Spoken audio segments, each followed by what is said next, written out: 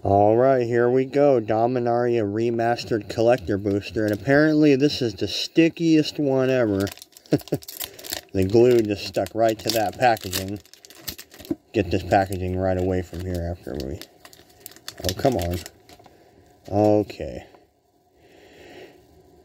Foil Goblin Token. And a borderless foil absorb.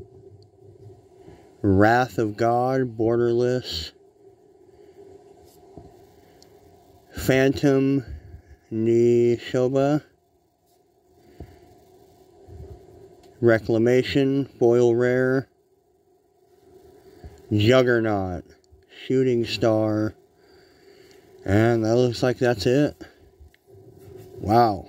Well, so far that was the only ones, it's the only packs I've had that were duds.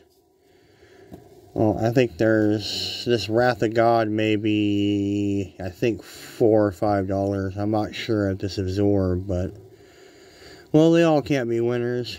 As always, thanks for watching.